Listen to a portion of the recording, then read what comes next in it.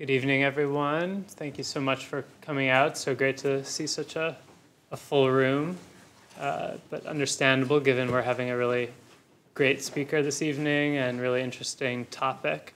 Um, so I would, uh, my name is Jordan Sloshower. I'm a fellow in uh, addiction research uh, psychiatry here and one of the co-founders of the Psychedelic Science Group.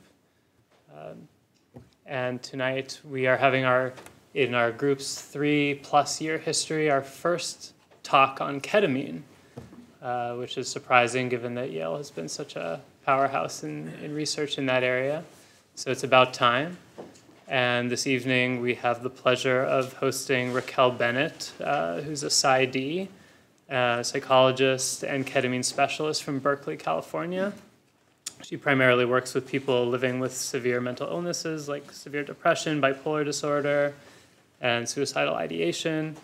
Um, Dr. Bennett has been studying the antidepressant effects of ketamine since 2002 and lectures frequently on this topic.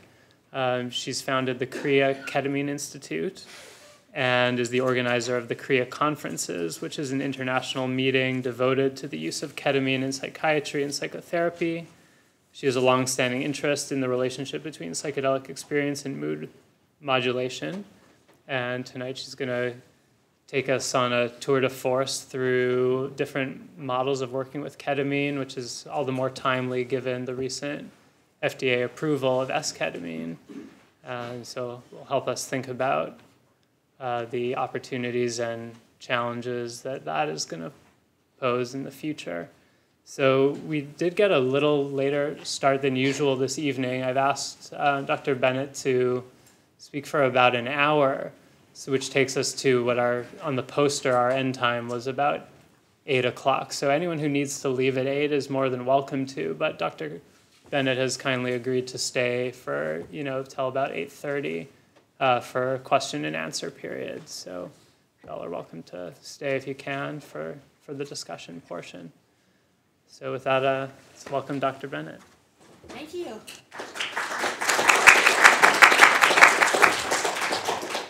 Thank you so much. It, can you hear me okay? In the back, you're okay? Thumbs up? Okay. It is such an honor for me to be here. Thank you for having me.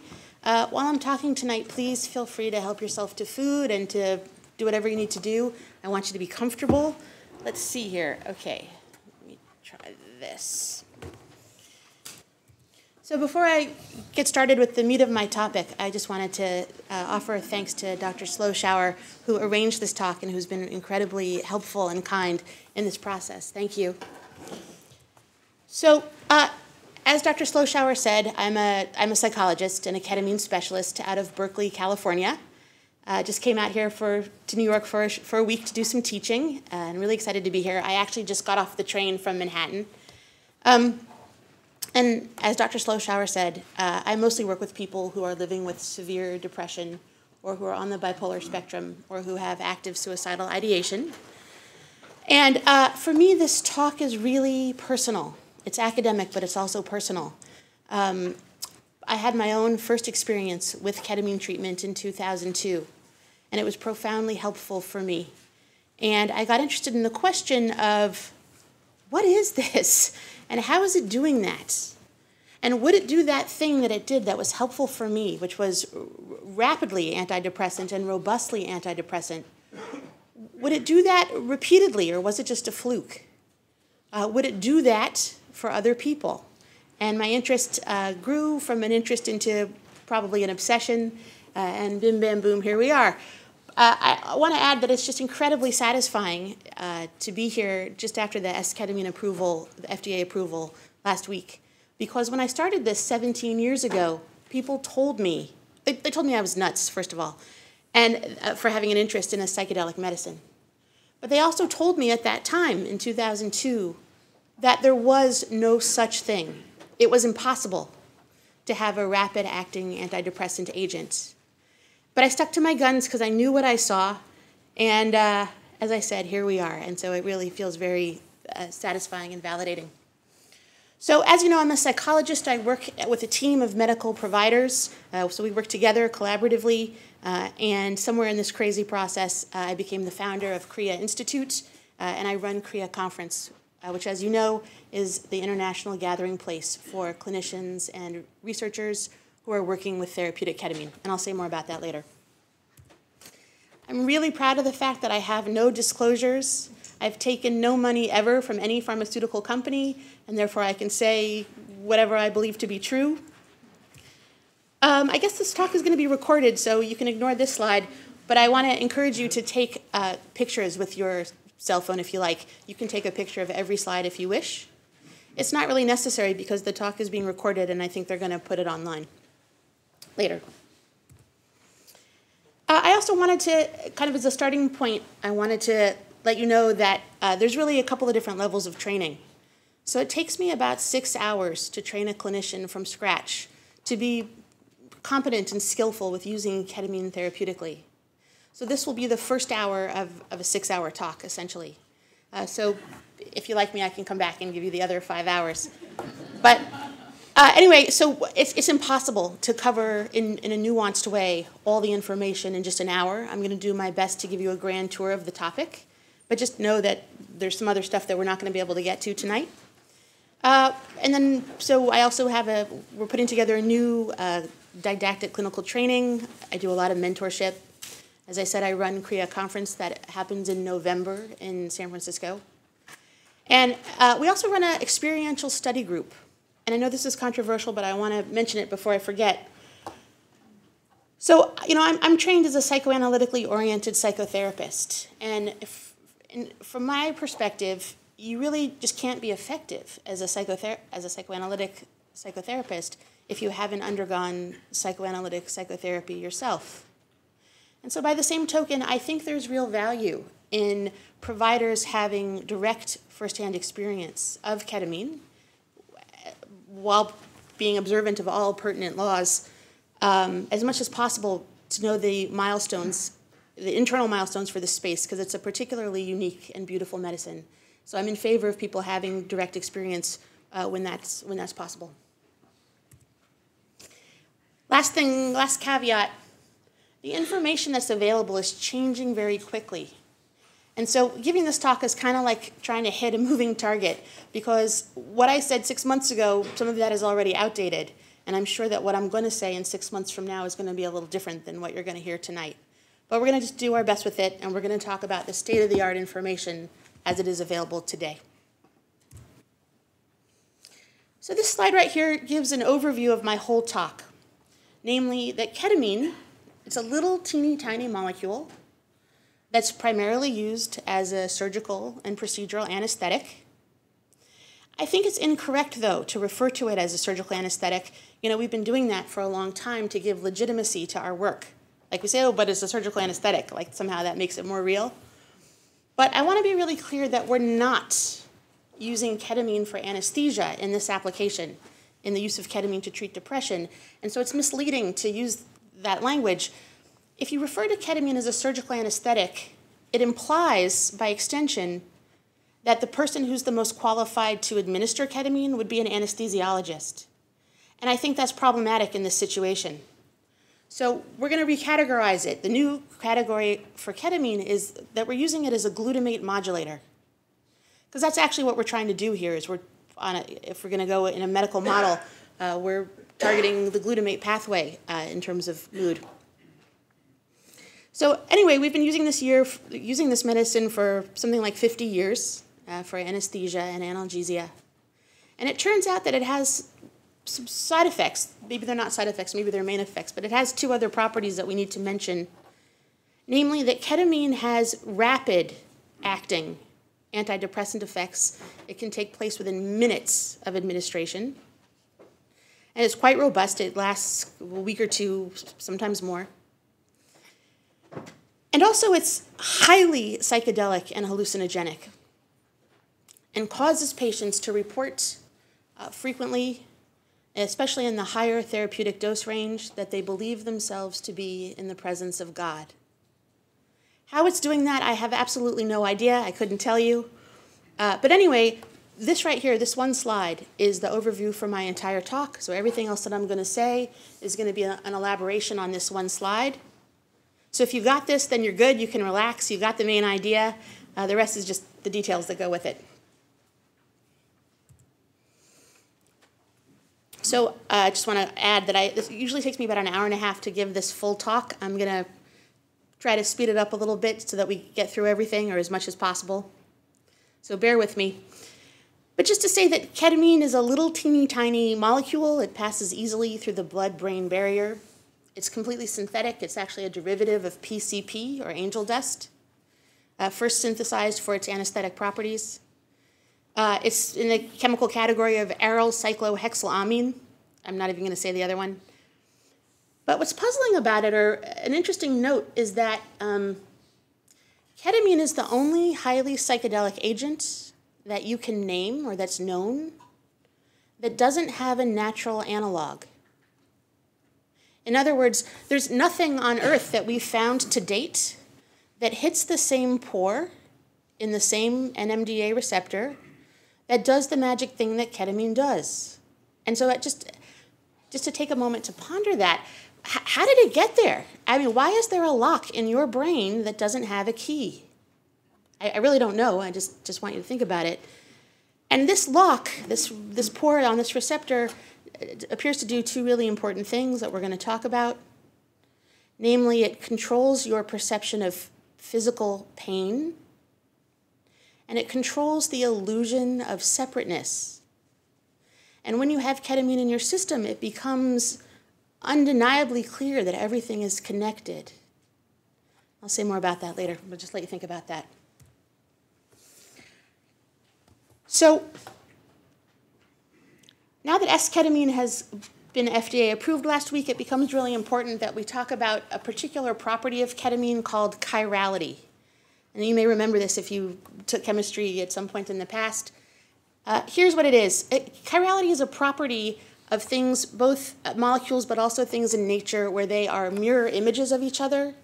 They have the same components, uh, but they are not identical. And so your hands are a good example of chirality. Ketamine is also chiral, so we're going to get to that in a moment. But let's just talk about your hands for a second. Uh, hopefully your hands have the same components on both hands, right? I'm, I'm hoping.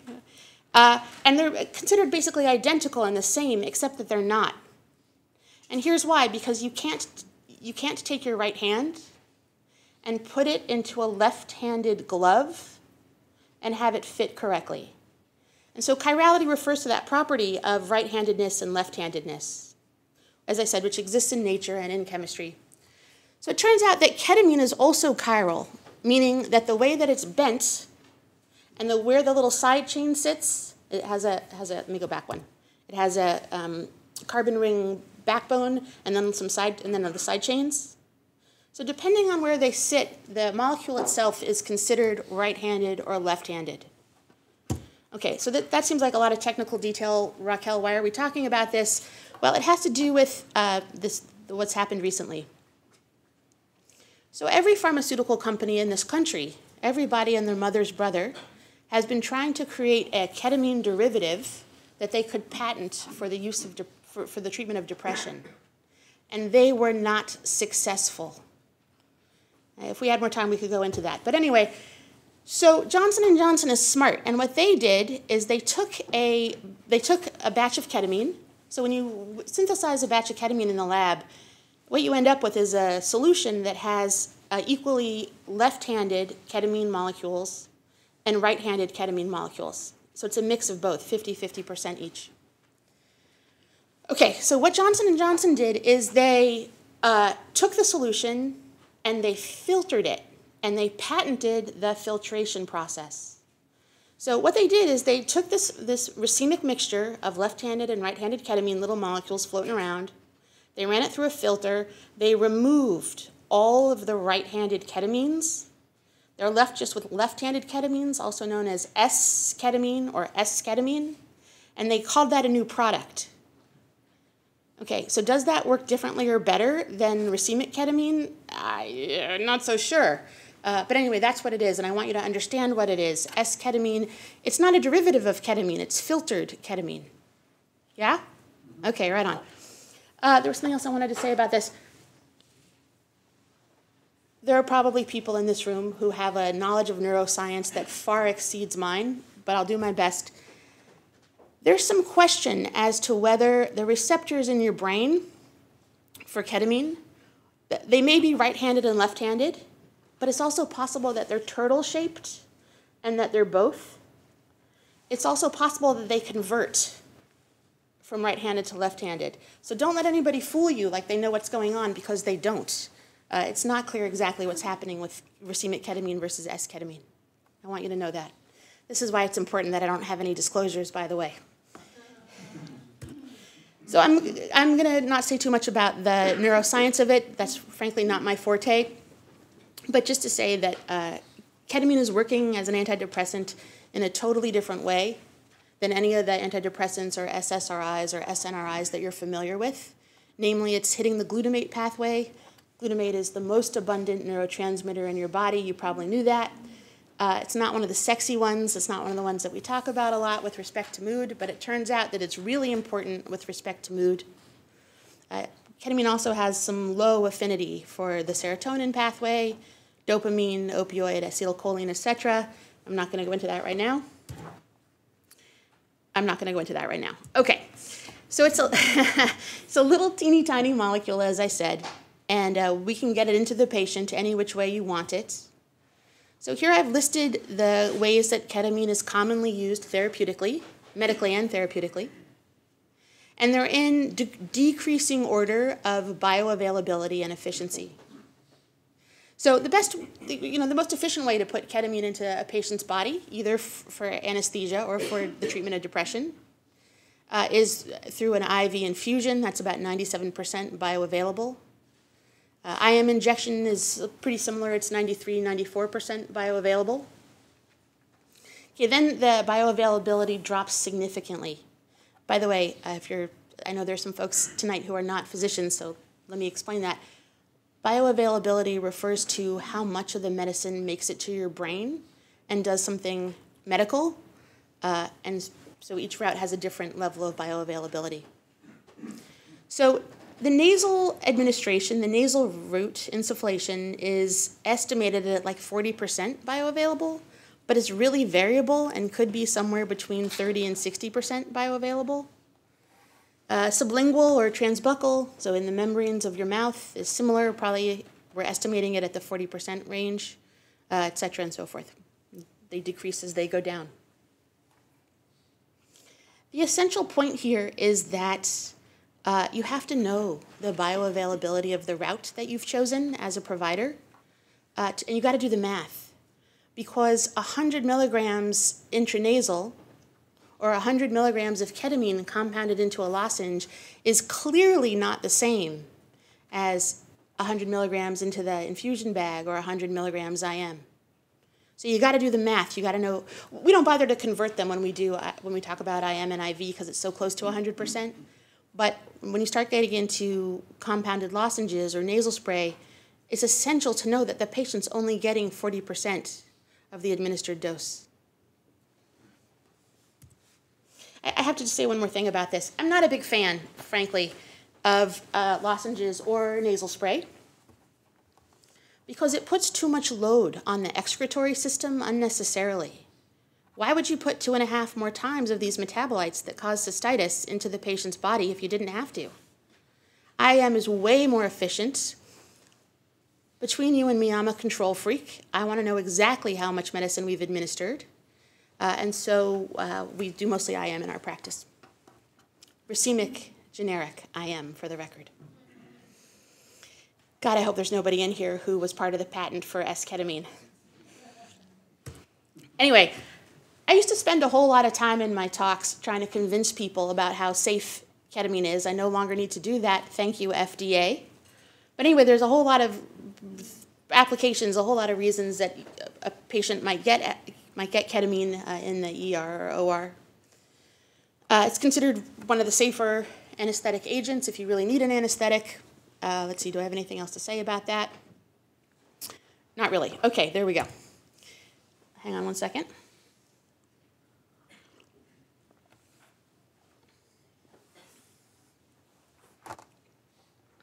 I want to talk for a minute about the, the legality of this. So if you're a physician, you probably know this already. Oh, see, I have to change, update my slide. Check that out. So if you're a physician, you probably know this, but if you're not, let me just let me just clarify something right here. So one thing that people don't that most people don't know, that the lay public doesn't usually know, is that there are actually three different agencies that control or have a say in what is considered legal. Most people think it's just one agency. That's, that's not the case. So let me say what they are. Uh, there's the DEA, that's the federal agency, and they have a schedule that, that says what medicines or substances you're allowed to uh, create or synthesize, manufacture, distribute, and prescribe. So according to the DEA, uh, ketamine is on something called Schedule 3, meaning that it's legal for the physician to prescribe it or utilize it as per their best clinical judgment. And most people think that that's the end of the story, but it's not. A different agency that gets to weigh in on this is the FDA. It, we all know what that is. Uh, FDA coverage is very closely tied to insurance coverage. So, up until last week, ketamine was not FDA approved for any psychiatric indication, meaning that we were using it off label for the last 17 years, and that was problematic in terms of insurance coverage and also our own liability insurance. It's a little unclear exactly what's going to happen with the whole S-ketamine, racemic ketamine thing. But what I really want to say is that there's a third governing body, which is the state, uh, state licensing board, that as a physician controls your li medical license, or as a psychologist, there's another board that controls our licenses. And if the state board doesn't like what you're doing, they can come in and they can examine your license or pull it. So I don't know how things are out here in Connecticut, but in California, they're pretty draconian and quite authoritarian. And so they just decide with what you're doing is ethical or not, and then they, and if they don't like it, then they give you a hard time. So here's really what I want to say. As a provider working with ketamine and using it for an indication outside of last week's FDA approval, S-ketamine FDA approval, you're on pretty safe ground. You're not going to have a problem with the board if your client, if your patient meets the following three criteria. These aren't written down anywhere, they're just, it's formed by precedent. So here's the criteria, and you're on safe ground if you're doing this. The patient has a diagnosable disorder with an observable functional impairment. That's criteria number one. The patient has tried and failed multiple attempts at conventional treatment. So that's a little vague, but you can see what they're getting at. And number three, that what you've done as a provider is up to the standard of the clinical community. What that means is that you can take the notes from that case with that patient, you can take it and you can show it to another provider, and that provider would vouch for you and say, Yeah, I would have done that. That seems like a reasonable course of action. So, again, what I'm trying to say is uh, if you if your patient meets these criteria, then you're pretty darn safe using ketamine any which way you please. That's your right as a medical provider. The place where I think we're stuck, or the, the kind of the growing edge here, is what do you do with patients who want psychedelic experience or want ketamine facilitated therapy who don't meet those criteria, who don't have an Axis 1 disorder? So this is where things get confusing because normally the DEA the FDA and the state boards overlap and agree perfectly in their understanding of how a medicine should be used, but with ketamine, they don't. So, I personally think that there's value in using ketamine as an adjunct to psychotherapy for any patient who would benefit from psychotherapy, like, namely, anybody. But uh, you know, it's not clear that the state board agrees with that, and nobody wants to be the test case on that one. So I want you to be thoughtful and understand that if you are using ketamine, any form of ketamine, outside of those three criteria, uh, that you need to be thoughtful about the potential ramifications for your license. Okay? We, we do it. We do it in California. I'm going to go on video on record saying that we do it, but we do it very thoughtfully and very carefully. Using ketamine as an adjunct to psychotherapy. Anyway, uh, let's see here. So there is a really substantial body of literature, much of it coming from Yale, uh, on the use of therapeutic ketamine to treat these conditions. Uh, so you can see them here. You need, you need a little bit more if you're going to treat OCD. It usually takes a higher dose. Just see where I am in time. Okay, good. And uh, I just want to note here about the, the treatment of suicidality. Ketamine does something amazing. Uh, does something amazing for people who struggle with ruminative suicidality. I'm sure you've seen that in your practice. Uh, so those are patients who have had quite a bit of therapy and who continue to sort of perseverate on self-harm thoughts despite, uh, despite your attempts at treatment. That's what I mean by ruminative suicidality, recurrent. I don't think ketamine is useful in the treatment of acute suicidality in response to a stressor. For example, if you come home or the patient comes home and finds their lover in bed with the best friend and the patient feels angry and suicidal, ketamine is not going to help that.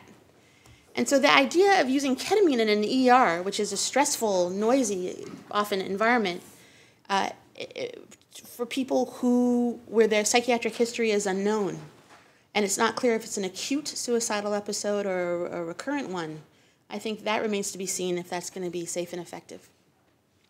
By the way, I took out all the slides and data and I took out all the numbers and stuff because you have access to the same body of literature that I do. So I hope that you'll look it up or let me know if you want specific citations.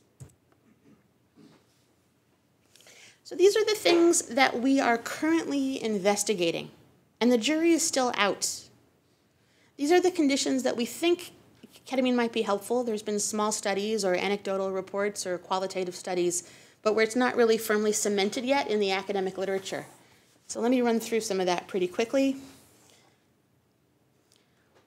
So some folks seem to think that ketamine is helpful as an adjunct in the treatment of various substance use disorders, but in the studies where they've had the most success, namely Dr. Dakwar at Columbia and Dr. Krupitsky in Russia, they seem to feel that having some sort of residential treatment component is essential to the success of the treatment. So I'm, I'm not an addictions specialist. In fact, addiction or substance use disorder is a rule out for ketamine treatment in my practice. So I'm really, I, I, am not exactly sure where we're going to land on this one. Um, so I'm looking to you for more information. It, it, there, it, it's a question as to whether this is, uh, whether ketamine can be used in an outpatient environment effectively. I really just don't know. Uh, ketamine in the higher dose range gives people the opportunity to experience temporary disembodiment. We're going to talk about that in a moment. And so, for that reason, it can be really useful for death rehearsal for people who are facing their own physical imminent death or people who are processing the death of a loved one. Ketamine has a really useful application there. Okay, anxiety is a tough one. We see a lot of folks who have uh, who present with depression with prominent anxiety. So we see that a lot, as I'm sure you do too. And here's the thing that's tricky about that uh, about half the patients report, patients with depression and prominent anxiety, about half of them report that they find ketamine treatment to be really helpful, that it both addresses the depression, it has an uplifting component, but they also say it's like soothing and it, it relieves the anxiety for a while. But half the patients find it too agitating and it makes them worse. So you have to have an anxiety management plan in place if you're seeing someone with anxiety, with prominent anxiety, and let them know that they may become agitated following treatment, uh, because otherwise they're going to be calling you all night. Uh, and so when we do training, we will get into exactly what the anxiety management plan would look like. So trauma, this is a really tricky category. And in order to be able to think effectively about what works, we really have to parse out different subcategories of PTSD. Namely, uh, so here's some things to kind of keep in mind. Was the trauma relational and personal? Was it an act of God? Or was it accidental? Because that makes a really big difference, obviously, in the um, prognosis and treatment for the patient. Was it a single stressor? Was it recurrent? That makes a big difference, uh, etc. So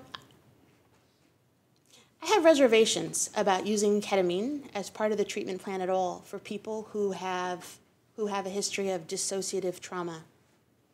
Namely, that they dissociated, they, came, they felt like they were coming out of their body at the time of the traumatic incident. And here's why patients are smart, people, people are smart. And you give them some ketamine, which chemically induces dissociation or a feeling of separateness from your body. And people who have had a history with this remember that that feeling of coming out of your body is accompanied by something really terrible happening to you.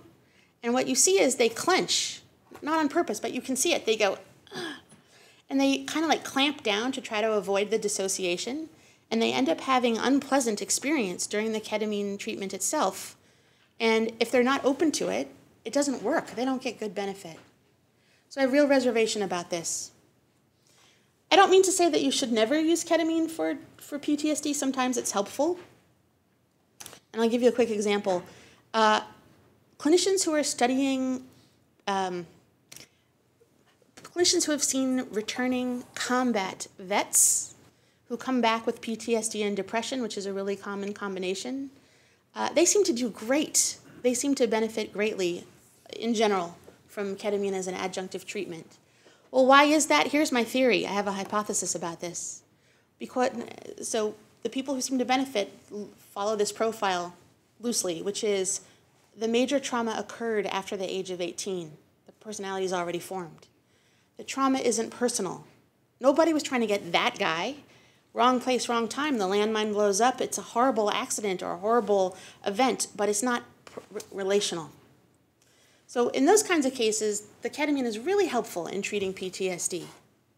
So I'm going to go back to my original point and say that you have to parse out different kinds of trauma to come up with an effective treatment plan. But I think it's incredibly unethical.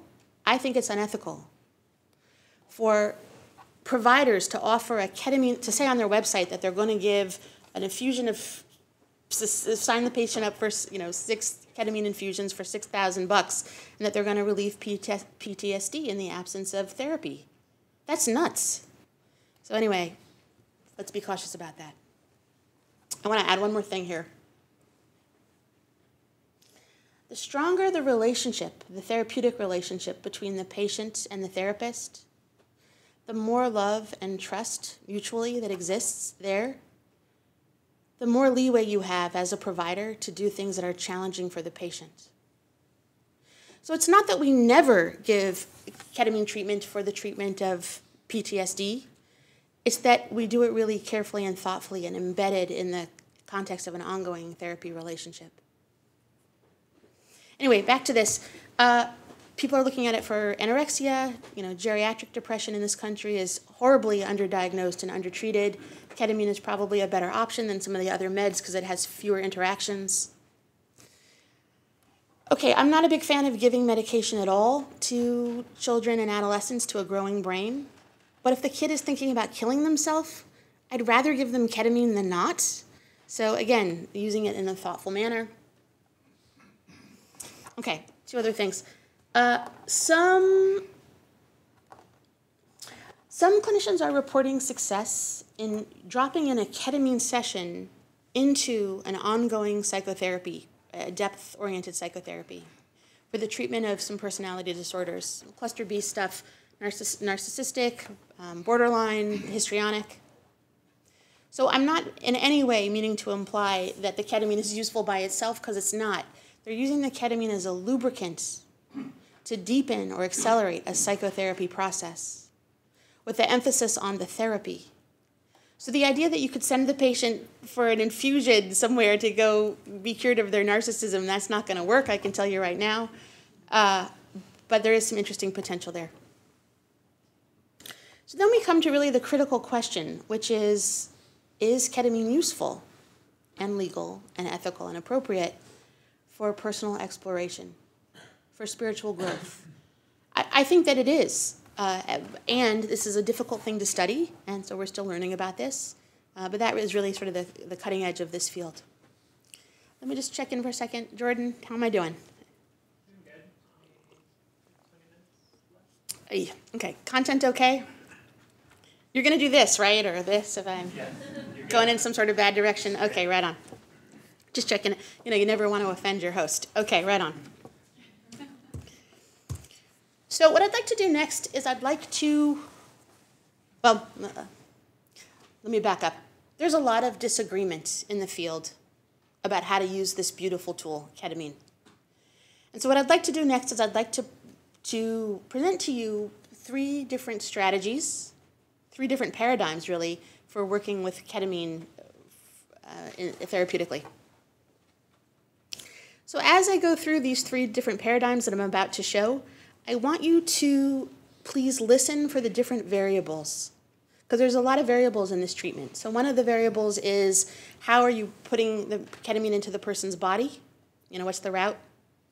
How much are you giving? What's the dose? How often are you doing it? Are you being attentive to the setting?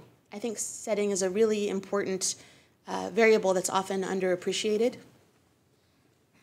And finally, something that I call clinical presence. Clinical presence in this context refers to what the provider thinks that their role is or how the provider is being with the patient who's receiving psychoactive ketamine. So I'm going to just show a quick slide here. I'm going to gloss over a little bit of it here, but I want to point out that ketamine facilitated psychotherapy is different and distinct from being a sitter. And here's why ketamine facilitated psychotherapy only occurs by a trained and licensed psychotherapist in the context of an ongoing psychotherapy where the, the provider or the, the therapist knows the internal emotional landscape of the client, of the patient, and also has permission to explore difficult topics. So that's different than being a sitter who's has a safety function or who's providing a loving presence and who's essentially following the patient. That's not the same thing as ketamine facilitated psychotherapy. So I want to mark that as distinct. Okay, so here we go. Uh, paradigm number one. This is called the NIMH protocol. So this was uh, approved, or the, the NIMH and the American Psychiatric Association issued guidelines in 2017, giving the two thumbs up for this uh, as a, a, a way of using ketamine to treat depression. And so it's an infusion model. So in this way of working,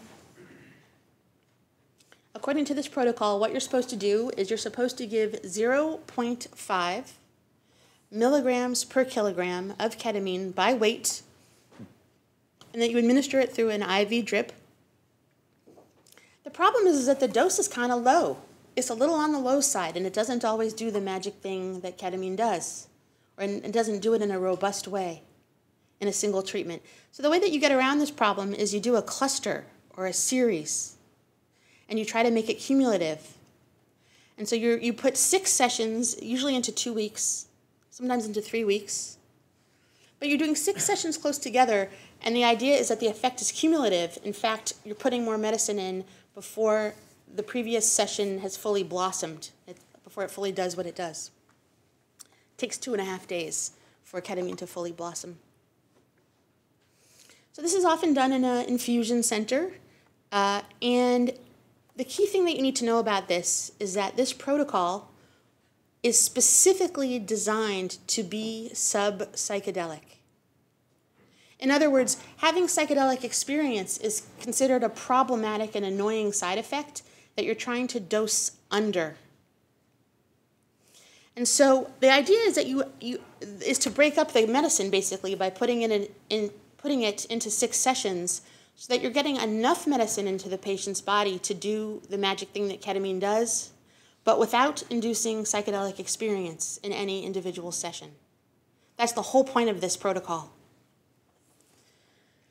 If you ask patients what it feels like, they say that it's that it sort of feels like having uh, patients vary a great deal, frankly, but it's not uncommon for them to say that it feels like having two glasses of wine on an empty stomach that they feel like a little bit nauseous, but it's not too bad.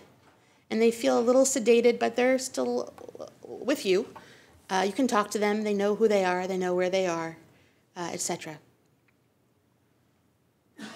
Here's, so this is fundamentally a medical or a surgical model. And if you ask providers who work in this way, if you ask them why the patients are getting better, what's causing the improvement, and 70% of the refractory dep depressed patients do improve with this treatment. I mean, the findings are remarkable.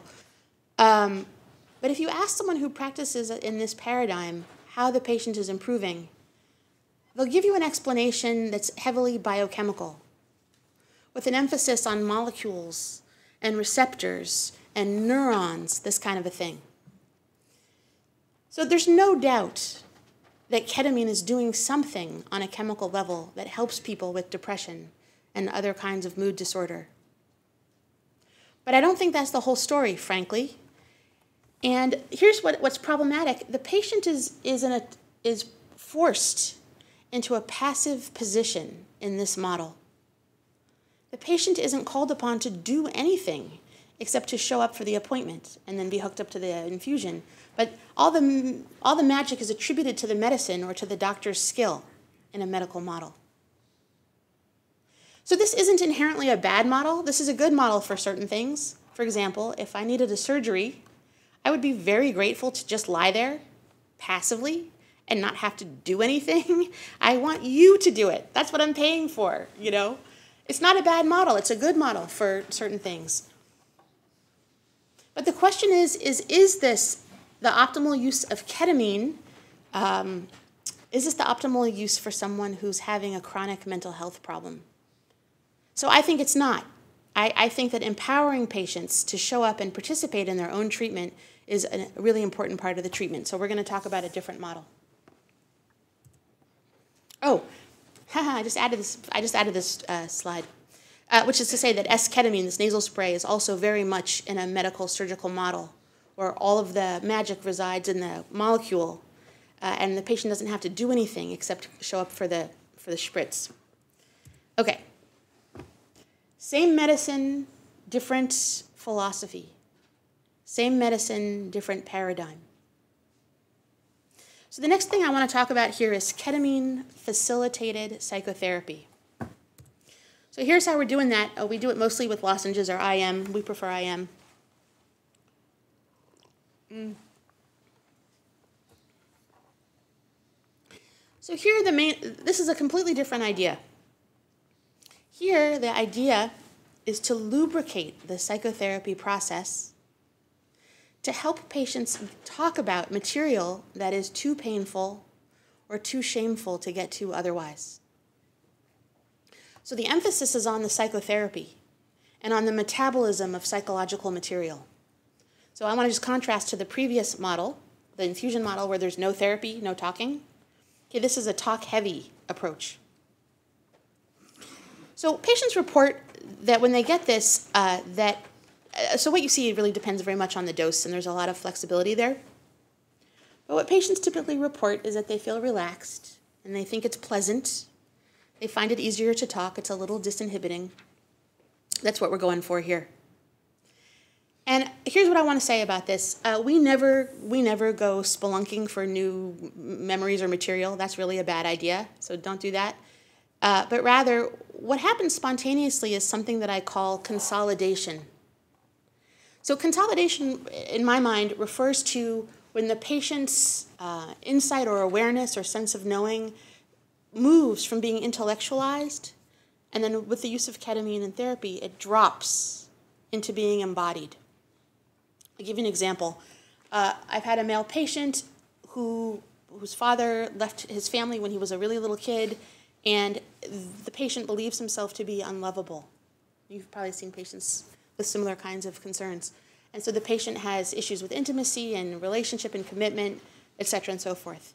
Now, we've had, he's had a lot of therapy, and he knows, he, on some level, he knows that it wasn't his fault or probably wasn't about him that the father had to leave, but still he is hung up on this. Okay. Put a little ketamine in there, and then the patient revisits the material that they've already been working on, familiar material, and they go, oh, it wasn't about me. And they like get it as though it's for the first time, even though it's not for the first time, but it drops in their way of knowing. And you see that a lot. So that's what I mean by consolidation. That's what we're going for here. And I want to add that this is fundamentally a psychological or relational model, meaning that, that each of us, the two people in the room, me, the provider, or the therapist, you know, there's a team of us, but the, the therapist in the room and the patient, we're each contributing 50%. We're both working equally hard during the session to help the patient. It's a different model. And okay, yeah, so as I said, uh, and so when you ask providers who work in this way why the patient is getting better, they'll give you an explanation in terms of the metabolism of, of psychological material. It's a different idea. Okay, let me move quickly here to another paradigm. Let me see where we are in space and time. We are okay. Okay. Same medicine, ketamine, different paradigm. We're moving. Same medicine, different philosophy. You ready? Okay, right on. So now we're going to talk about psychedelic ketamine journeys. Oh, that's probably why you all showed up tonight, right? Okay, I got it. Sorry. Okay, so you can do it in a big chair, but mostly it looks like this with the patient lying down. By the way, I just have to admit that this slide bothers me and I keep meaning to change it because the patient's foot is cut off. And I've never actually had a patient with a missing foot, so there's something about that that doesn't seem realistic, but you get the idea. And then here a little tribute to Alex Grey. Uh, I think that's what it looks like, what the experience is. That's a way of visually capturing it. But let's talk about that. So in psychedelic ketamine treatments, we are, uh, we are purposefully inducing psychedelic and mystical experience in the patient on purpose with the belief that the visions and the psychedelic component that the visions are valuable and meaningful. So I want to contrast this with the two other paradigms that I've given you so far where the visions are considered a problematic side effect that you have to work around. Okay? But in this paradigm, in this model, the visions are the main action. The visions are what you're going for. In fact, in a truly shamanic paradigm, the visions are considered a gift from God, and you offer up your body as a vessel to receive the gift. At least that's, that's, that's how I was trained. I was uh, apprenticed for a while to a, to a shaman in a different tradition for a while, which very heavily influenced my thinking. But in any case, so we primarily do this by injection, uh, and what happens is that the patient is partly paralyzed and minimally responsive to external stimuli for about 75 minutes, give or take. Uh, and during that time, they what happens is that their the sensory input from from their uh, I can't think of the word I want, but perception their input is is calmed down and quieted, and then cognitive thought and all the chatter in your mind and sort of that thing that we think of as intellectual activity that also is quieted and the thing that makes you uniquely you, your essence or your spirit or your soul or your awareness is released from your body temporarily to go have a little look around and then come on back. That's what people sort of, how people describe it. And uh, yeah, so people have these colorful, dreamlike visions. And it's my belief that the visions are meaningful and that the medicine offers a message. And after the patients come back, or I mean, we're monitoring them very carefully the whole time. They're not talking during this. But as they come back, so as we do therapy the same day or the next day or in the next couple of days, the, the therapeutic task uh, is to is to is you're really doing Jungian dream interpretation 101. Uh, you are I don't know what the visions mean, but I'm helping the patient to uh, construct uh, something that's meaningful for them find meaning in the visions, and specifically to find something actionable. Find something that they can do in their lives on a daily basis that helps move them a little bit toward wellness. So, in my opinion, this is the dividing line between what is recreational and what is therapeutic. It's that actionable step. It's identifying the message from the medicine and then implementing it in some actionable way in your life uh, and getting the support to do that. That's what makes it therapeutic, I think. So again, this is, as I said, this is fundamentally a psychedelic and shamanic model where the emphasis is on the healing action of the visions.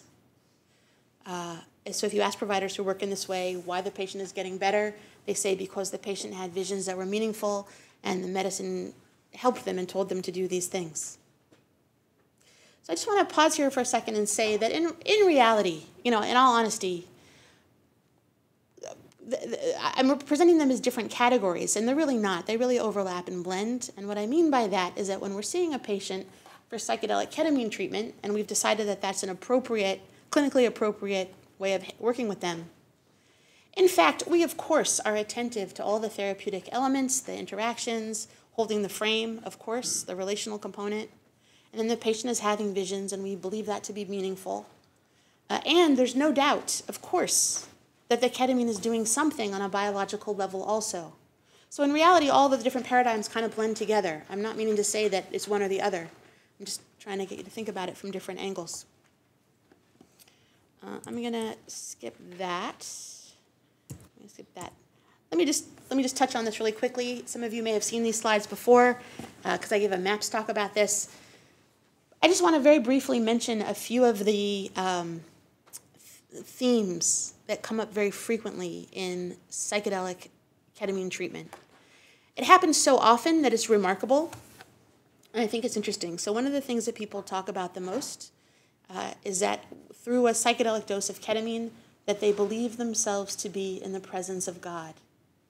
And as I said before, how the medicine is doing that, I really have no idea. I don't think anybody knows. There's some guesses, but floating around.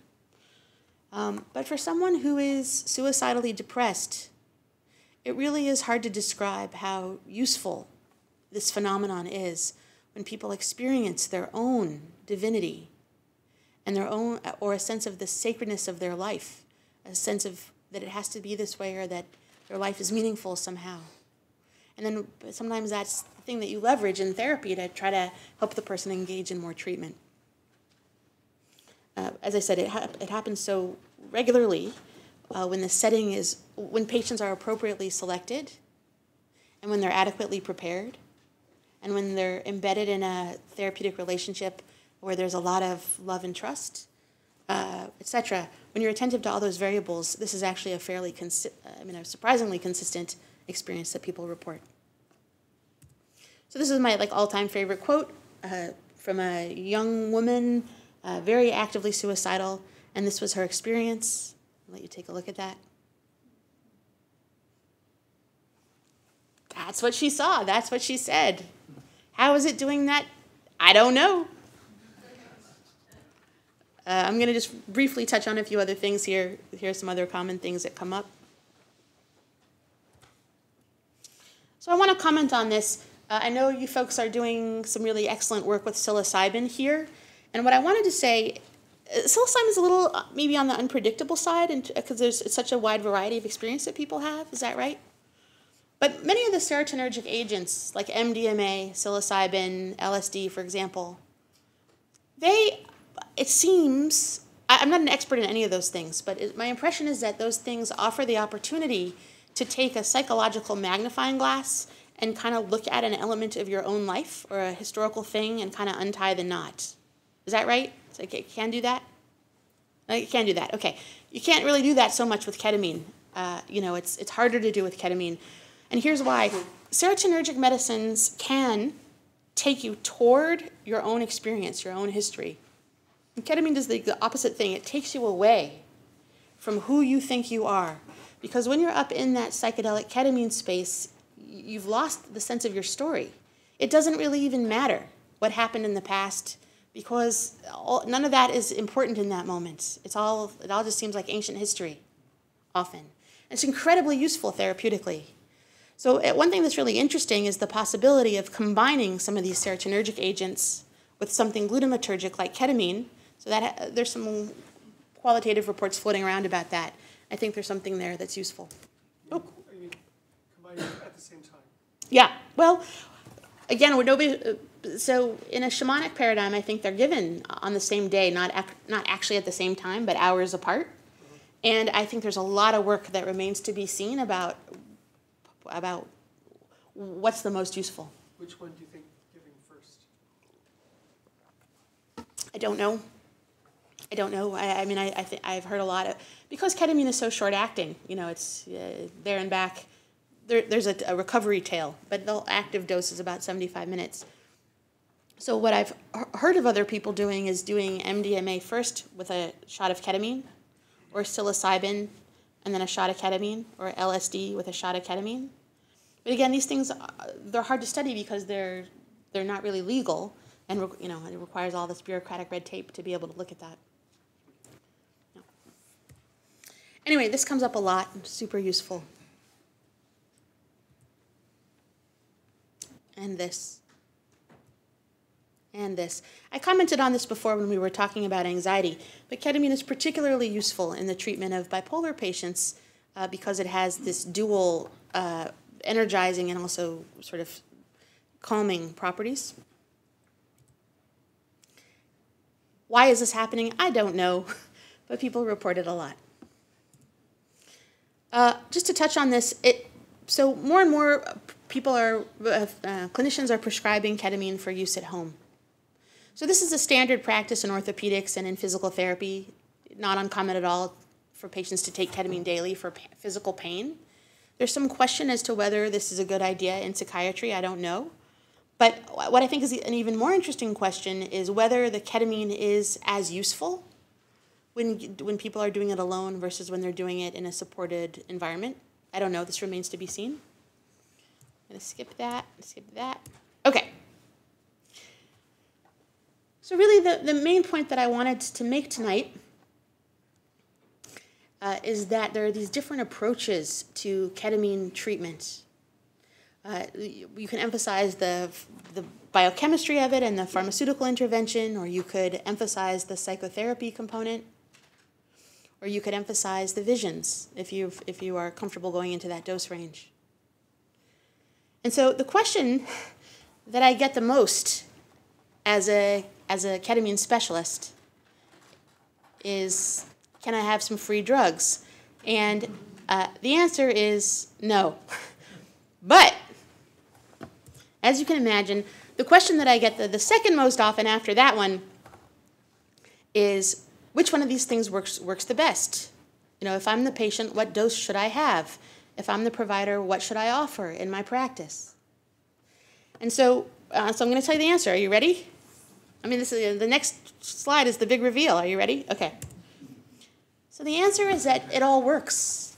Different treatment for different people. The, the competent and skillful ketamine provider knows how to work with a variety, multiple routes of administration. No one of them is magic. Uh, and knows how to work with different dosing strategies. Sometimes really gentle, low dose uh, ketamine exposure, ketamine infusion, or this nasal spray business, this, that, and the other thing. Sometimes that's just the right thing. You know, sometimes you got to go in with a really gentle touch. That's great. We do, we do it. Some folks are tied up in knots emotionally, and what they, they really need to talk. And then we're using the ketamine to facilitate that. And other folks, and it's a very tiny portion of our practice, much smaller than you would think, but a tiny portion of our practice are really good candidates, frankly, good clinical candidates for full blown psychedelic experience to Pluto and back in 75 minutes. And when that's clinically indicated, we do it. So that's, and so we, we, we have to do a training to get into the nuances of how you know the difference. But just to say that in my practice, we do it all because, because, because all of it works and all of it's useful. And the key is to match the treatment to the person who's with you in the room at that time and figure out where you want to start, what you think is likely to be the most helpful and cost effective. That's what we do. So I'm maybe three quarters of the way through my slide set. I could kind of wrap it up here. Should we do that, or you want to see the rest, or what is your, Dr. Sloshower, what are you thinking? Um, well, I say we just had the nose at eight o'clock, so if there are people who want to need to go, that, you know, now might be a good time, and then, um, maybe we It's going to take me like 15 or 20 minutes to finish the slide set, but I'm okay with just like leaving you with some resources and leaving it here uh, as you wish. You guys want to move into discussion or see some more slides?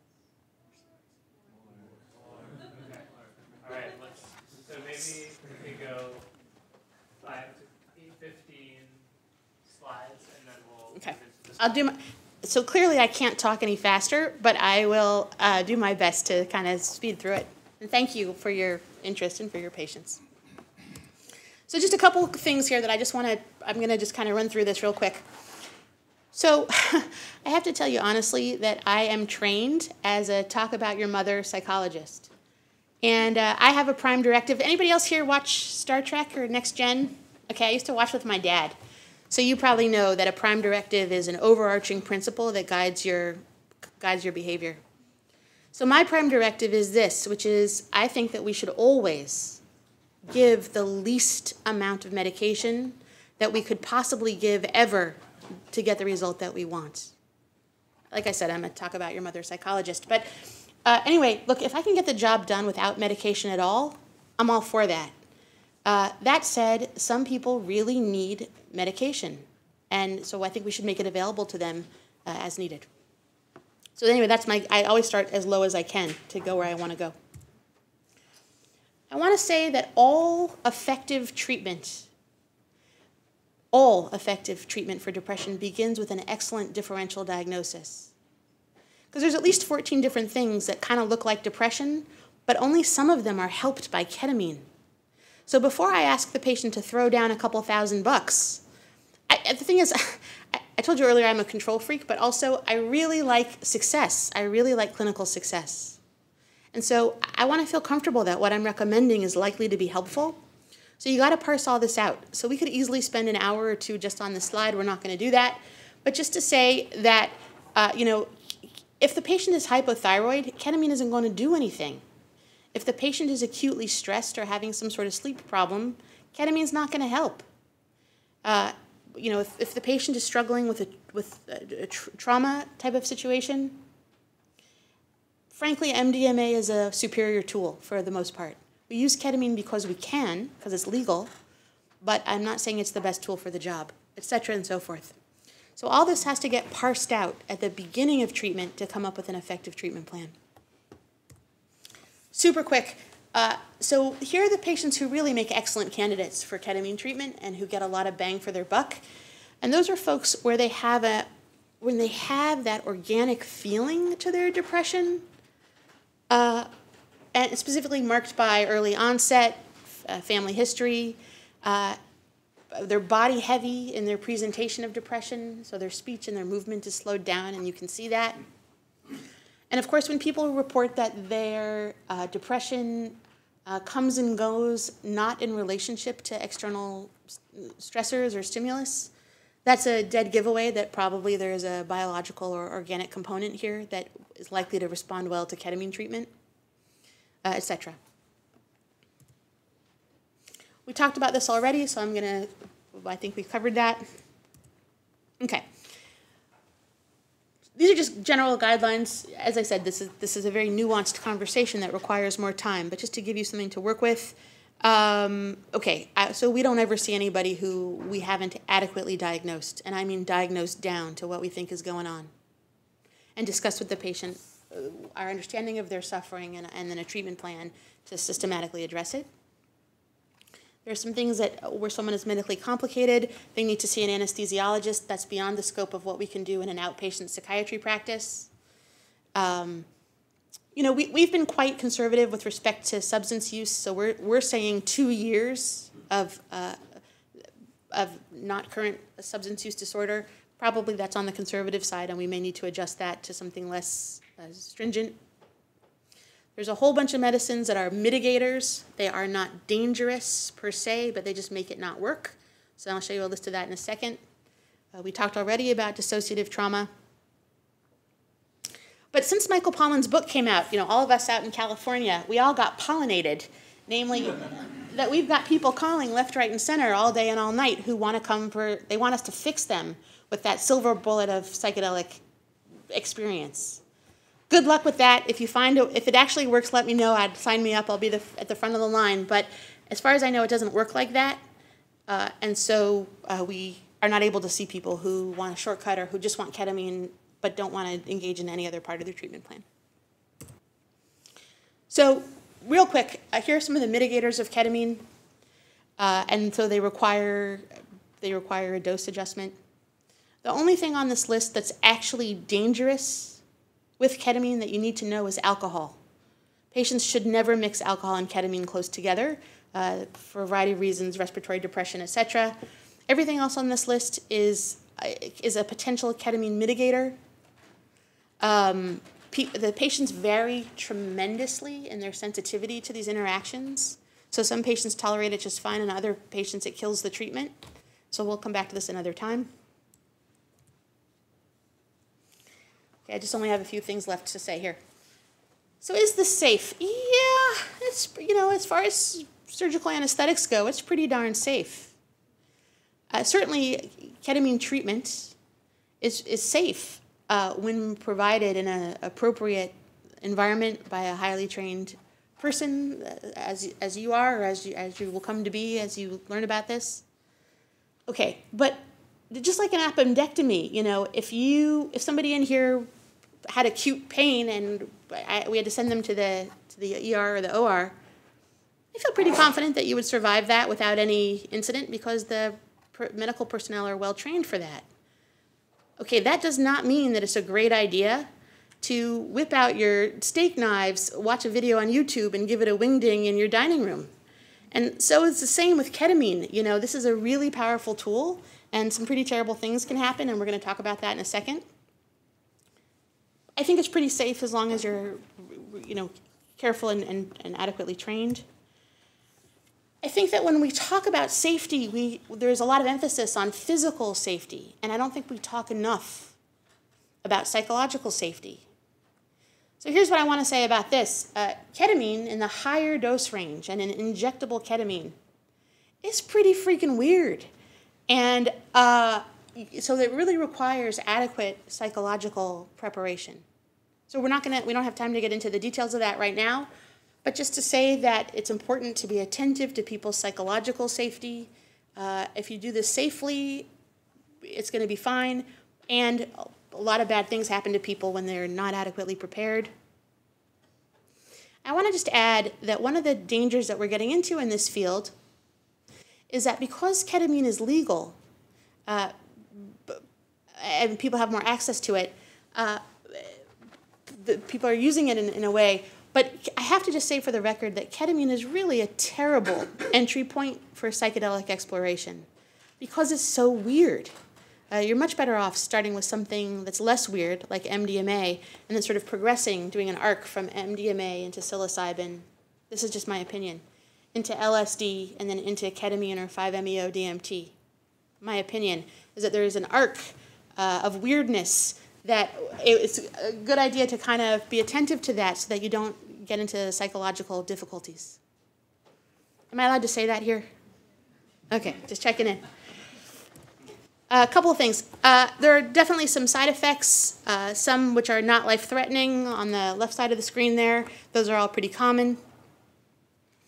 And I wanted to say for the record that I have seen two medical emergencies earlier in my career, which put the fear of God into me and made me appreciate what a powerful medicine this is. And you have no business injecting people with ketamine unless you know how to assess and treat uh, these kinds of medical difficulties. And I, want, I also want to say that I don't know how to assess or treat them. I'm a psychologist, and thank God I work in partnership with some smart physicians. I'm going to pass that. Uh, ketamine is not super addictive. It, it doesn't pull for physiological addiction. Uh, um, it is possible to be in a problematic relationship with it, as with anything but it doesn't really pull for that. And so far, we haven't seen a lot. We haven't seen any uh, patients who are getting receiving ketamine for depression who then convert into recreational users. At least, I mean, we're very attentive to talking to people about this, and that hasn't come up so far. I'm sure that now as ketamine it's all over the place, I'm sure it's going to be a much bigger problem. Um, but anyway, I don't, I don't think it pulls for addiction, and lots of people use it without a problem. Um, we're going to skip that. Okay. And then finally, here we go. Uh, let's, oh, this is about S-ketamine from last week. Uh, you can look that up. There's a very intense REMS program that's going to be in place for S-ketamine, and if you want to read about it, take a picture of this because this gives you the links to the, um, to the documents. Let me give you a moment to do that.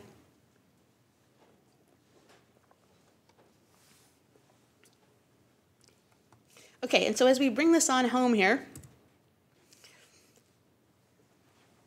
I just want to say that in my experience, I've been doing this for 17 years, by the way. it's really a long time. And uh, in my experience, the patients who get well and who stay well over time are patients who do the other 90% of stuff on the screen besides the ketamine. Sadly, the ketamine alone is not sufficient to produce a lasting um, improvement. It's good as a bridge to kind of get things unstuck. But the patients who stay well over time do all the other stuff on this list, and I'm kind of famous for saying that ketamine should never be more than 10% of the treatment plan. Uh, and so the, the real work is to get people to engage in these other uh, supportive things that they need uh, in addition to ketamine treatment.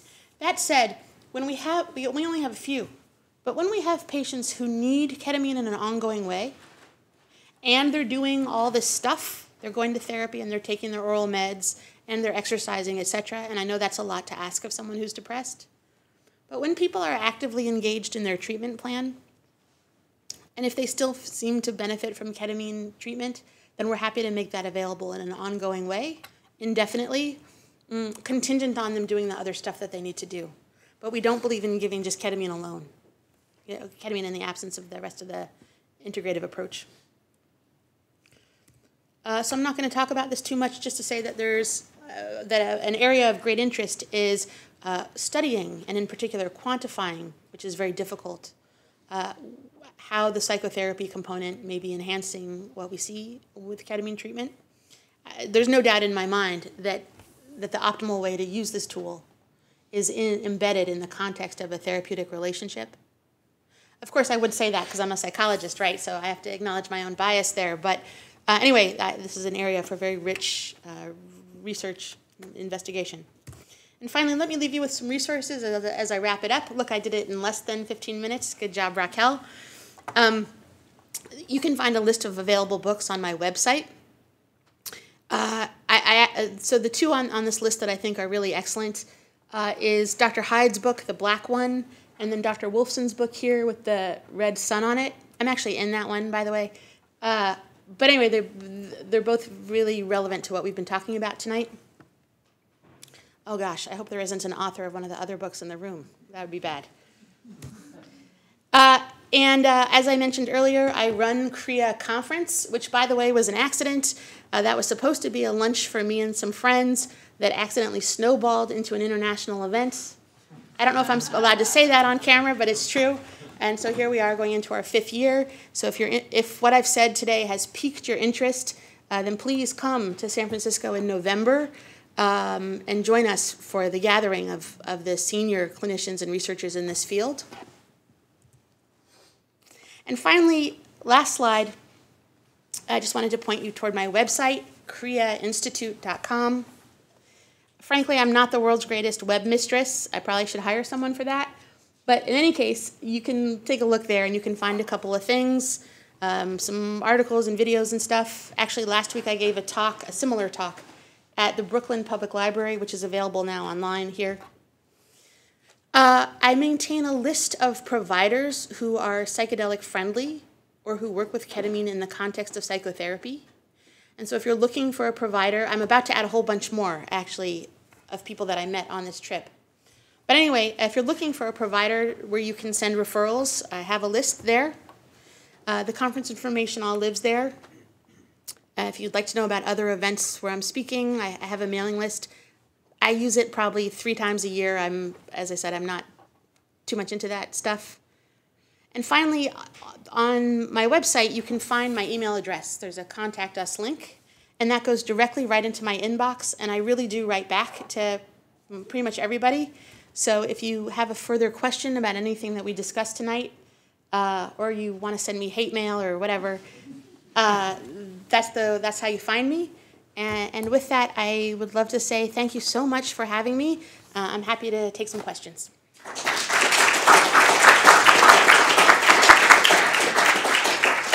Hmm. Jordan, you want to moderate, and I'll, I'll I'll talk, and you let's go back to the first slide.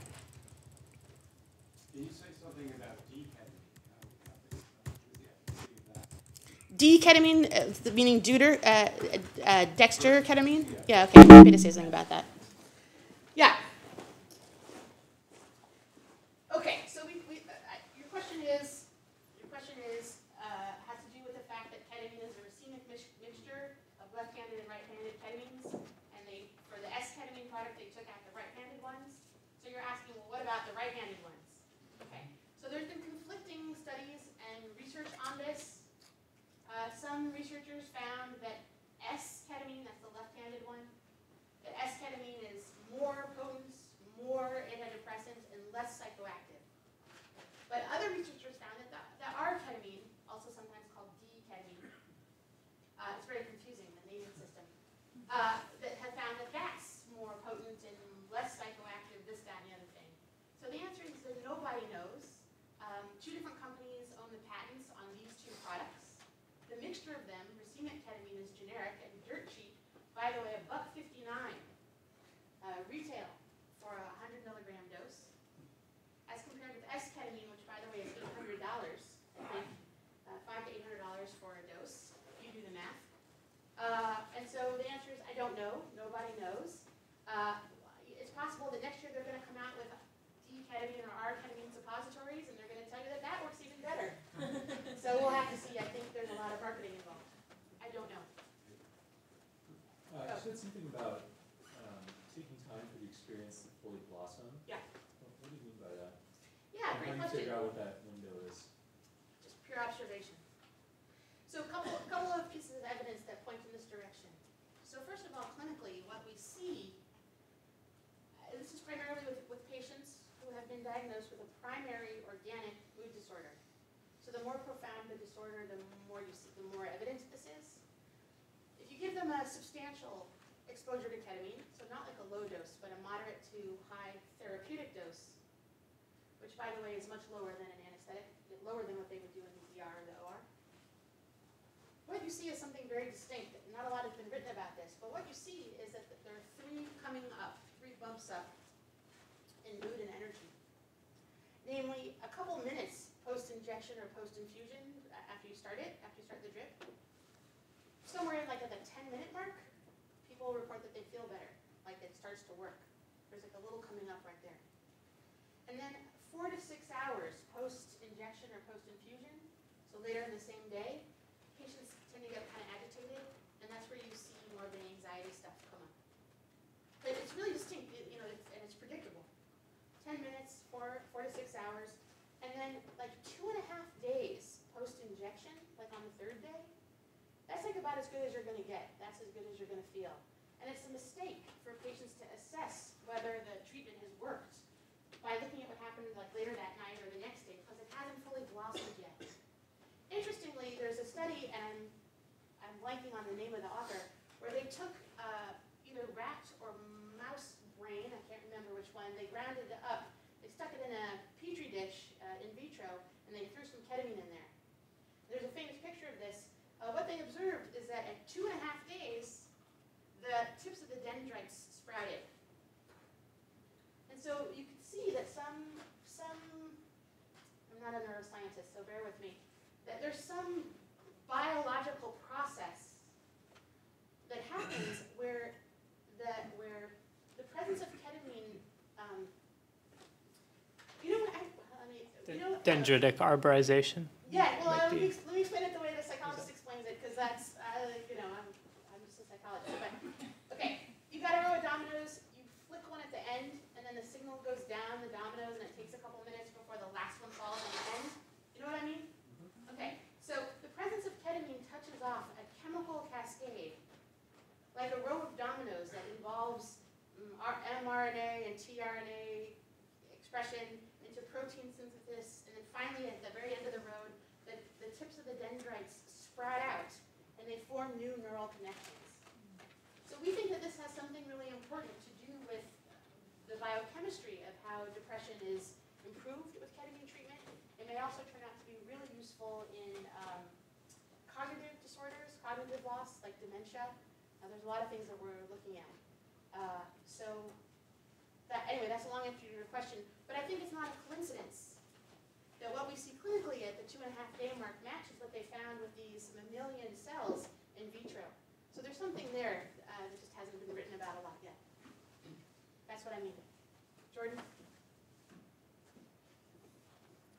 Um, Have, have they done any research with, or are you aware of any research where ketamine's been used for Alzheimer's or uh, Parkinson's, ALS?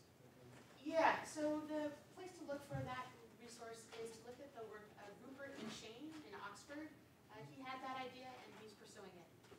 So that's outside of the scope of what I'm trained to do, so I don't really do that, but I'm following the literature carefully.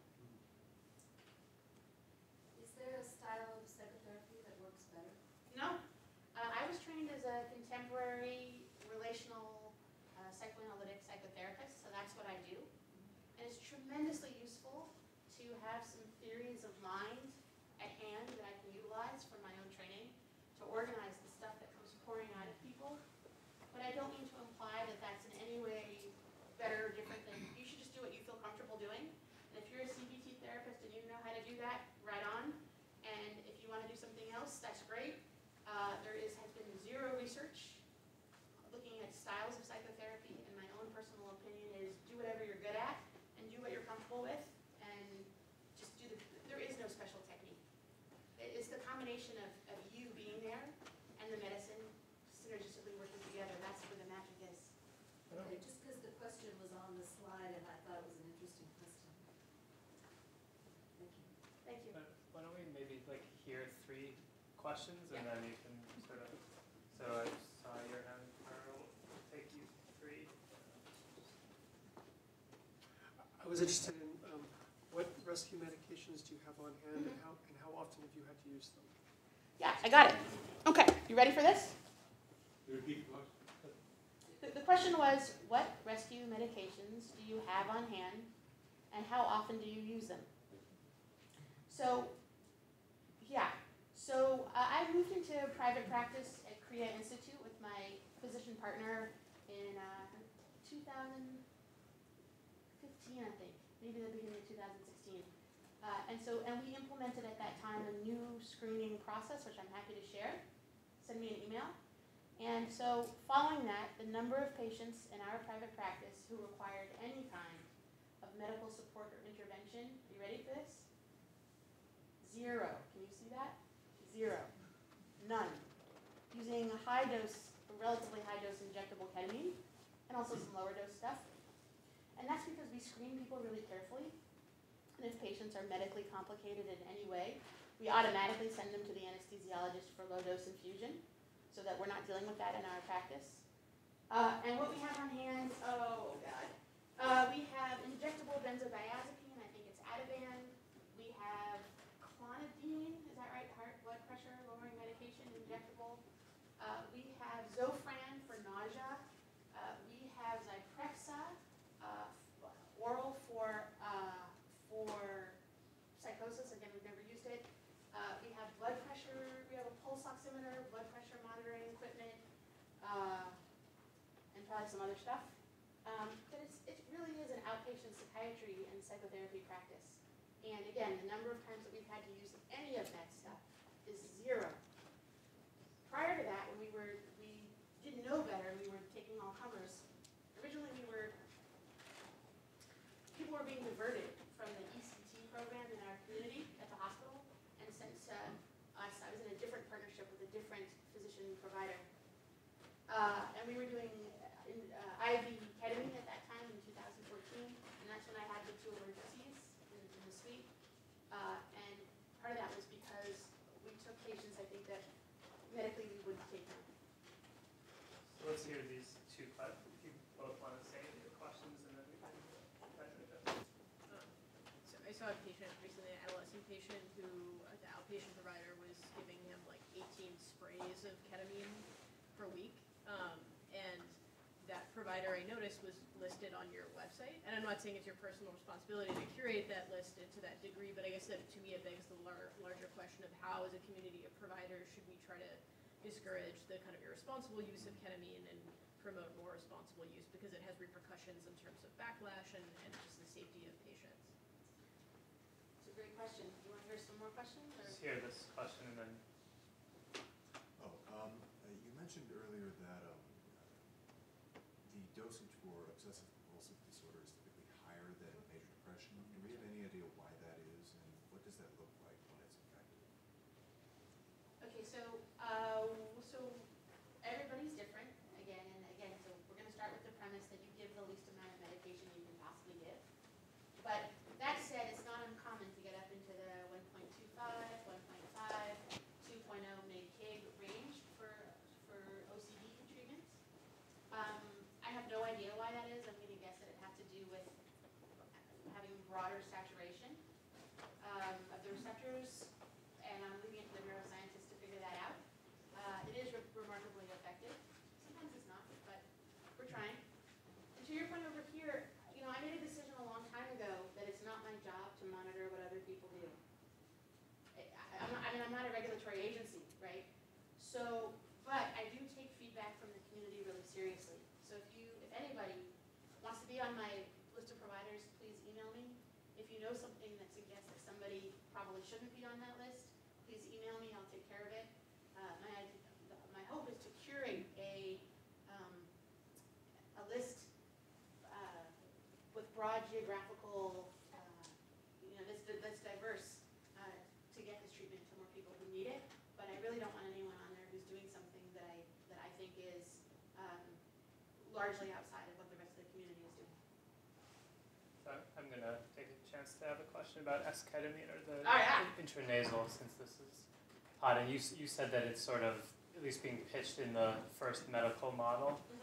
Um, I'd heard that maybe in the community, intranasal may be nice um, or have one advantage compared to say oral, in that patients can titrate themselves to like a particular effect. Is that a thing? Is that at all valid or?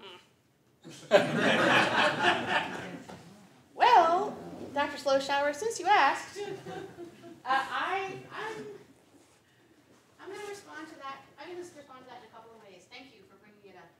First of all, you, you should do what is effective and what's cost effective. And so if your patients have insurance and the insurance is gonna cover the esketamine, then by all means, use esketamine. Nobody's telling you not to. What if the insurance isn't gonna cover that?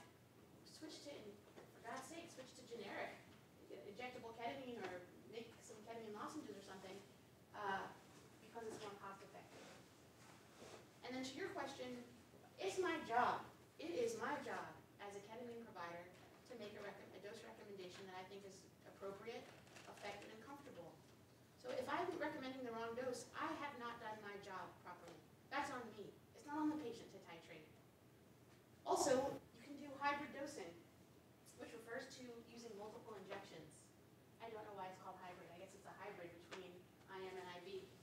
But if you wanted to, and you wanted to give the patient 60 milligrams, That number out of thin air, there's absolutely no reason on earth why you couldn't give 20 milligrams, see how that sits, and then give 20 more over here, and see how that sits. If the patient is okay and you feel good about what's happening, you give the final 20 milligrams. Again, that was just a totally arbitrary number that I made up. Trust me, after the first injection, the patient doesn't, doesn't care. Uh, and so you could titrate. You, you don't have to use esketamine. You don't have to use an expensive product to, to dose to response. Am I getting myself into hot water here? Look, I've been doing this a long time, and we did this for a long time without expensive patented medicine, and that's what I intend to continue to do. So we only have a last couple minutes. You, I guess. so go in the back here. Uh, You you mentioned that uh, patients who are uh, body heavy or have physical manifestations of depression tend to do better or respond better to treatment. Why do you think that is? Do you have any thoughts on that? Yeah, I do. Um, I do. So that goes back to this, which we were talking about. Sorry, close your eyes while I do this. I don't want to hurt you. Um, there's got to be a better way to do this. Okay, there we go. What, what I was what I was meaning to thank you for the question. What I was meaning to convey is that when people are body heavy in their presentation, it suggests to me, along with some other oh, that's not the slide I wanted. Sorry. look up before I. Okay, there we are. people are body heavy in their presentation, it suggests to me as a diagnostician that there's something going on that might be understood as a biological depression. So, uh, so what I'm, what I'm trying to figure out is, is this person grieving? Okay, that's gonna probably most likely get better in time, and I'm not sure that you need to put ketamine in for that. I'm not sure you need to use medication for that. And is this person dealing primarily with trauma? Okay, then I might make a referral to studies. Is the person in pain? Okay, you gotta deal with that. Is this person angry? Okay, well, that would affect how I would use ketamine, because I would probably lean towards therapy, et cetera and so forth. So I'm going down the list and I'm trying to figure out what's going on here, and I'm trying to recommend a treatment that I think is gonna work. So that's where I was going with that thought. Um, uh, I had a question about how frequently, um, people have come in requesting, uh, requesting maintenance, meaning that, like, they had their duration of treatment, and how frequently do you see that happening? Yeah, great question. Uh, So without going into great detail on this, because I know we want to wrap up, uh, let me say a couple things. So we will talk about this in great detail in a training, because that's part of what, what training requires. But basically, we're, we're typically offering people a series of six low-dose infusions, or we're gonna do six S-ketamine nasal sprays or whatever, six exposures, or three sessions of psychotherapy, uh, ketamine facilitated therapy embedded in a larger context of therapy, or three psychedelic journeys. We never do one, because it puts too much pressure, I'll get to your question in a second. It puts too much pressure on the session to like be magical and amazing, and that never works well, so that's why we're doing it in a trio. Uh, There's actually something called the- the Bennett Trio, which I was just telling Dr. Sloshower about over dinner. But anyway, uh, so we've had patients now in our practice since 2014 who come for psychotherapy, and they know that ketamine is available. And it, and interestingly, some folks ch- choose not to have any more ketamine, it worked the first time, and they, but they don't feel like they need it or want it, or they can't afford it, is also the reality. We, we have a sliding scale, so we try very hard to make it available. Uh, some people come back annually for a booster. Uh, it's not uncommon for people to come back quarterly for a booster or, a- or a series or some more help. And finally, as I said earlier, there are some people who come back monthly, who seem to need ketamine or seem to need glutamate modulation on an ongoing basis. And as I said before, when people are actively engaged in their treatment plan and they're doing all the other stuff, but they keep sliding unless they get ketamine, for God's sake, give them ketamine, you know? It's like that one-tenth of the patient population who seems to need ketamine in an ongoing way. So we do that, but only as long as people are actively engaged in their treatment and are fully compliant with all the other elements of the treatment plan. So anyway, about ten percent. I have a follow-up, are you able to predict who will want maintenance versus not? I, I- I have absolutely no idea. Uh, It's totally trial and error at this point in time. Would you hazard a, you know, like, so these are the characteristics that have Yeah. people accessing maintenance therapy? Uh, No, to, to your question, I have the same problem with patients who present with anxiety. I have no way whatsoever of predicting who's gonna benefit, or who's gonna get worse, or who's gonna need it over time. I really have no idea. Uh, I think it's yet to be discovered. I, I- I think we'll figure it out as we go. Thank you. So let's take one, you know, this gentleman had his hand for a little while. Um, Hi, so I am actually coming at this from the context of the, of the patient. So I was diagnosed with major depressive disorder three years ago, and I've been doing talk therapy about as well. And I have a psychiatrist currently, um, who,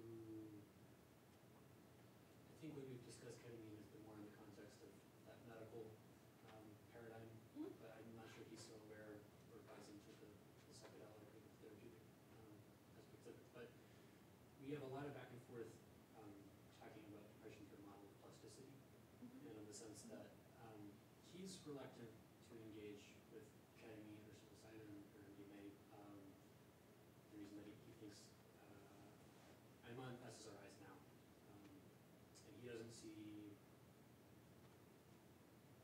He uh, he doesn't think Well, that that's- plasticity for the sake of plasticity is, is worth engaging with, and, and that if the talk therapy I'm doing isn't being effective on a ketamine probably won't be helpful. Uh, and I, I'm just, I'm, I'm kind of, maybe I'm looking for that shortcut, as in I feel like I've been stuck for a really long time and, and I just want something to work, but, um, I'm just wondering what your, your thoughts are. Also, he put it to me once, he doesn't want me to take ketamine and feel like it's the drug that fixed me, not the work. But I'm wondering if the drug is the only thing that would enable that catalyzation to be fixed. Well, to, to, thank you for sharing. Two thoughts. Uh, number one, feel free to send in a copy of this video to explain the different ways of thinking about ketamine. Uh, and number two, unfortunately, I'm not able to do any individual consultation in this context. That's not legal. Um, but you're welcome to send me an email and I'll follow up with you. I'm not, I'm not able to comment any further. All right. There was, there was, there was one, this guy there's had his hand up for a while. So, thank you. I, I was wondering if you could just, uh, in short, I know you said it was a big topic, but give a a quick summary of how you decide between the different treatment plans, uh, the different doses that you give. Uh, oh, wait, here. Am I gonna get in trouble? Hang on a second. Uh-oh. Okay. Just wanted to see if you were, just wanted to see if you were paying attention. Okay. Um, that, that topic unfortunately is too big, uh, but I, but I will cover it in depth in my training, because that's really the essence of training, is trying to figure out what to do for whom. I- I'm not able to summarize, unfortunately. When's your next training? Well, I do them quite a bit in California, uh, and I've recently been invited to come and do it in New York, and so I'm looking at my calendar to figure that out, and uh, hopefully it'll be in the late summer or early fall. But we're still in the process of working that out. Anyway, let me end on that note. Please feel free to send me questions or be in touch. I'm pretty friendly, and uh, again,